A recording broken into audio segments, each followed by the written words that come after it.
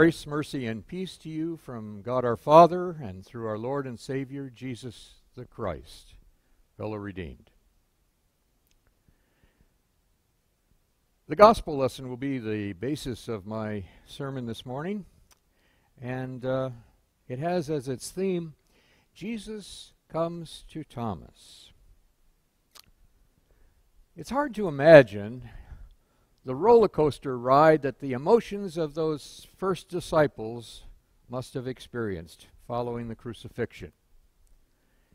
Now we find them in the gospel lesson John and the picture John paints for us all huddled together behind locked doors for fear that the enemies of Jesus are coming after them next.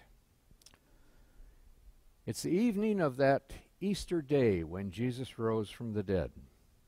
The mood of the disciples had to be one of sadness coupled with fear. Suddenly, the risen Lord is in their midst, and their mood goes from the depths of gloom to the heights of exhilaration. Lord, you're alive. You're back here with us again. Now, on this occasion, there were only ten of them. Judas Iscariot, the betrayer, is no longer with them. And for some unknown reason, Thomas is missing. Jesus greets them Peace be with you. As the Father has sent me, I am sending you. Those words seem timely not only because of Easter, but they also seem timely because of what some families are preparing for in the weeks ahead as students are preparing to graduate. This is really a kind of a commencement address by Jesus to those disciples, those students of his, who he now declares to be sent out ones, which is what the meaning of the word apostle is. Their mission? Announce forgiveness of sins to the whole world, to penitent believers, to equip them for their task he breathes into them the Holy Spirit to ensure that their actions are both God inspired and God empowered. They are now the body of Christ, continuing the work of Christ with the mind and spirit of Christ dwelling within them, assuring them that what they forgive on earth will be forgiven in heaven. When this commencement exercise is over, just as quickly as he arrived, the master departs. John's gospel tells us that it was a week later that Thomas has now rejoined the group to hear their excited claim We have seen the Lord. Rather than sharing their, their elation, Thomas kind of digs in his heels a little bit. Unless I see some evidence I can't get that Good Friday scene out of my mind. There's no way he could be alive after what I saw on Friday. I'm simply not going to be able to believe it. Now, any normal teacher or master of such a recalcitrant student would simply dismiss Thomas, giving him an F for the course.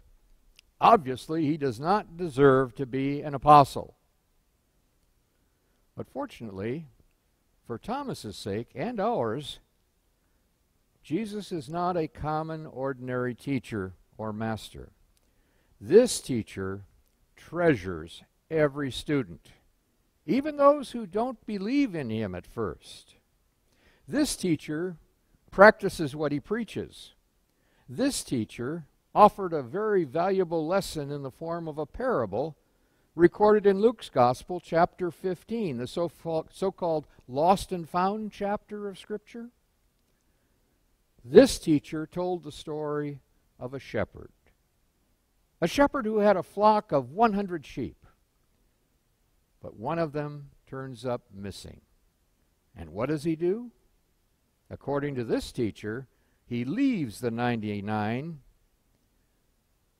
and goes in search of the one who is lost and isn't satisfied until he's found it. Thus, this teacher who told that parable is now doing that very thing. As he goes back to that same room a week later and seeks out and searches for Thomas. He goes up to the disciple, the disbelieving disciple, and says, Thomas, it's time for show and tell. Put your finger into my hand. See the mark of the nails? Stretch forth your hand and put it into my side. You see the mark of the spear? Stop doubting and believe. With tears of repentance mixed with indescribable joy, Thomas falls to his knees at the feet of his master and says, My Lord and my God. This is perhaps the most profound and powerful profession of faith in all of Scripture. Thomas's creed, you might call it, my Lord and my God.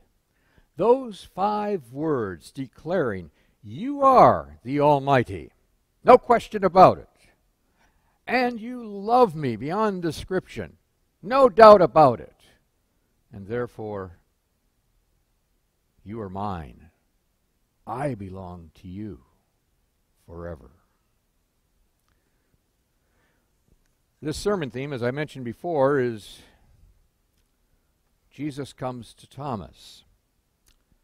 However, that theme really doesn't tell the whole story. What follows, follows Thomas's confession of faith, my Lord and my God, tells the rest of the story, as Paul Harvey used to say. Then Jesus told him, Because you have seen me, you have believed. Blessed are those who have not seen and yet have believed. How many times when you've been listening to a sermon has the preacher stopped to give you a test, a quick exam, a quick question? Let's see what kind of listeners you really are. It's a little contest, a little riddle, supposedly. Um, I want to see how closely you listen to verse 29. I'll read it once again. Then Jesus told Thomas, Because you have seen me, you have believed. Blessed are those who have not seen and yet have believed. What's the missing word? Do you know it? Did you catch it? Because you have seen me, you have believed. Blessed are those who have not seen and yet have believed. The missing word is the pronoun me, where Jesus refers simply to himself. What's the point of all of this? Well, you know, the ancient rabbis had a saying about the Jewish people and a part of their history. This rabbi who lived in 250 AD looked back on that Exodus experience and the Mount Sinai experience, where the law, the Torah, was received from Mount Sinai. And this rabbi concluded, he said, You know, those people at the foot of the mountain were truly blessed to see the thunder and hear the thunder and, and see the lightning and all the display and, and the glow in Moses' face as he came down from the mountain with the tablets of stone. Then the rabbi went on to say, But you know something? The one who God, the ones who God really favors are the ones who cause that Torah and that law of God to live in their hearts and lives without the privilege of having been at the foot of the mountain. Later generations. And that seems to be the point that Jesus is making when he says to Thomas, Because you've seen me, now you're a believer. Blessed are those my favor especially rests on those who have not seen and yet have come to faith. We heard it in the epistle lesson for today. Though you have not seen him, you love him. And even though you do not now see him, you believe in him and are filled with inexpressible and glorious joy, for you are receiving the goal of your faith, the salvation of your souls. So, as we ponder our Lord's search and seizure of the heart and soul of Thomas, we have to think about our own journey of faith. Your coming to faith is no less miraculous than this story of Jesus comes to Thomas. It'd be kind of fun right now to stop the sermon and say, okay, let's form a big circle. And everybody sit around in this circle, and we each share with one another the various things that happened in our lives to bring us to faith and to keep us in the faith. Of course, that's more than you bargained for when you got up this morning to come to church, because that would take the rest of the afternoon and much of the evening hours before you'd be able to go home again, because the stories would be rich in content and fascinating. Because the Lord works in each of our ways in, in a different way in a different manner. He doesn't just stamp us out like a rubber stamp on the assembly line. He works and meets us wherever we're at, whatever our needs might be. And there he convicts us and leads us by the power of the Holy Spirit to believe and to rejoice. The point I'm simply trying to make here is that you're coming to faith in Jesus as the Son of God and your personal Savior from sin and the Lord of your life is not your doing, it's God's. For by grace are you saved through faith, and not, not of yourselves, but it is a gift of God, not of works, lest anyone be tempted to boast. Dr. Martin Luther says it so well in his small catechism. I believe that I cannot, by my own reason or strength, believe in Jesus Christ my Lord or come to him. But the Holy Spirit has called me by the gospel, enlightened me with his gifts, sanctified and kept me in the one true faith. In the same way, he calls, gathers, enlightens, and sanctifies the whole Christian church on earth and keeps it with Jesus Christ in the one true faith, in which Christian church he daily and richly forgives all sins to me and all believers, and will at the last day Raise up me and all the dead, and give unto me and all believers in Christ eternal life. This is most certainly true. When Jesus came to unbelieving Thomas, he allowed this wayward disciple to touch and see in order to bring him to faith. That hasn't happened to us, or has it? Fifty years ago, when I became a pastor, an incident happened in my first parish that I shall never forget. Fresh out of the seminary, my wife and I were sent to Trinity Lutheran Church in McComb, Mississippi. I thought my learning days were over. They were just beginning. If any of you know your history pretty well, you know that McComb, Mississippi, south central Mississippi, in 1966 was a learning experience. Let me tell you, there are not too many Lutherans in them thar hills. Our tiny congregation numbered 21 members, and that's counting adults and children.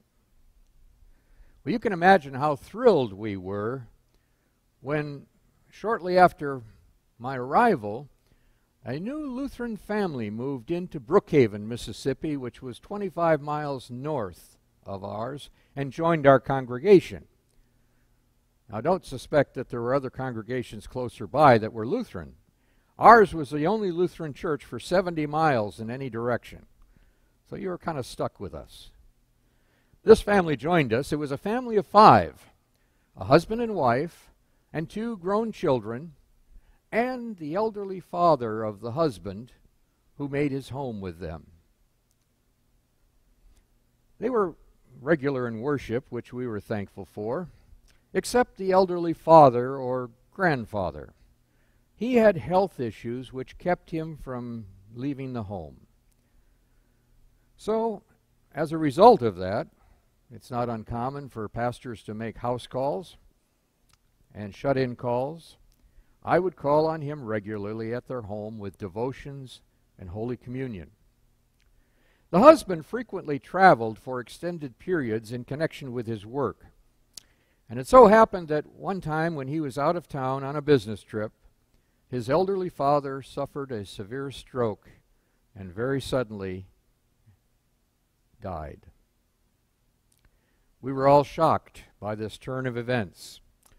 In a conversation sometime later, I happened to mention to Al, the father, uh, the son of this father who died, that my last visit with his father happened the day before his death and included Holy Communion. It was just a comment in passing on my part, but I'll never forget this man's reaction. His anxious face sort of relaxed into a peaceful smile. And then he said, I'm so glad to hear that Dad was in touch just before he died. In touch. What a beautiful description of the sacraments.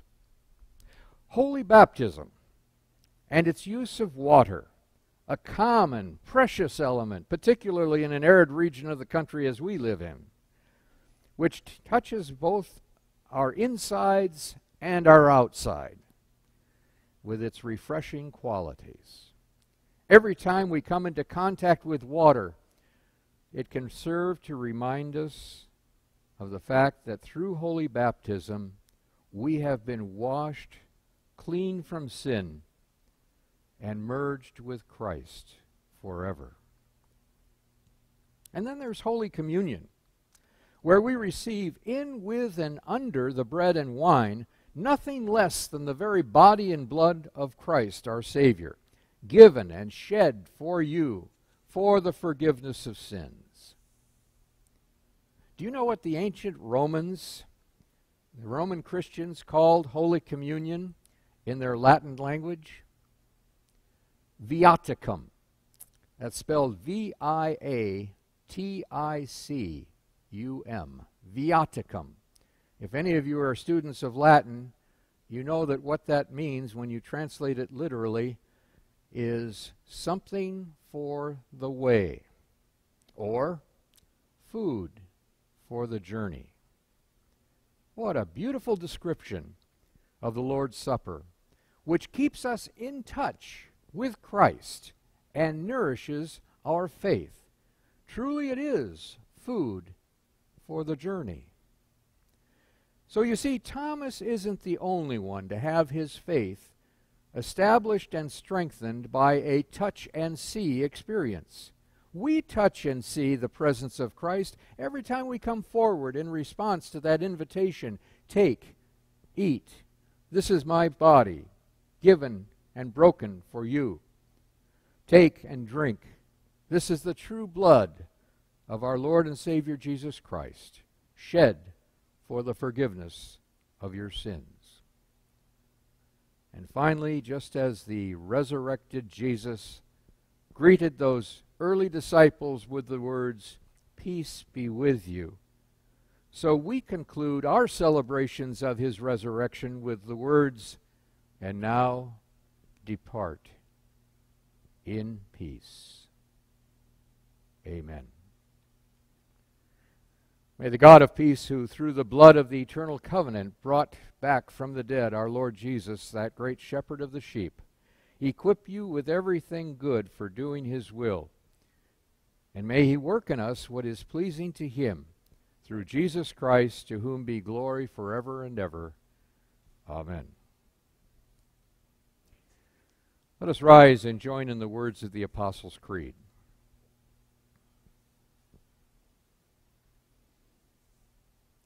A few more words than Thomas's creed, but no less true. I believe in God the Father Almighty, maker of heaven and earth, and in Jesus Christ, his only Son, our Lord, who was conceived by the Holy Spirit, born of the Virgin Mary, suffered under Pontius Pilate, was crucified, died, and was buried. He descended into hell. The third day he rose again from the dead. He ascended into heaven and sits at the right hand of God the Father Almighty. From thence he will come to judge the living and the dead. I believe in the Holy Spirit, the holy Christian church, the communion of saints, the forgiveness of sins, the resurrection of the body, and the life everlasting. Amen.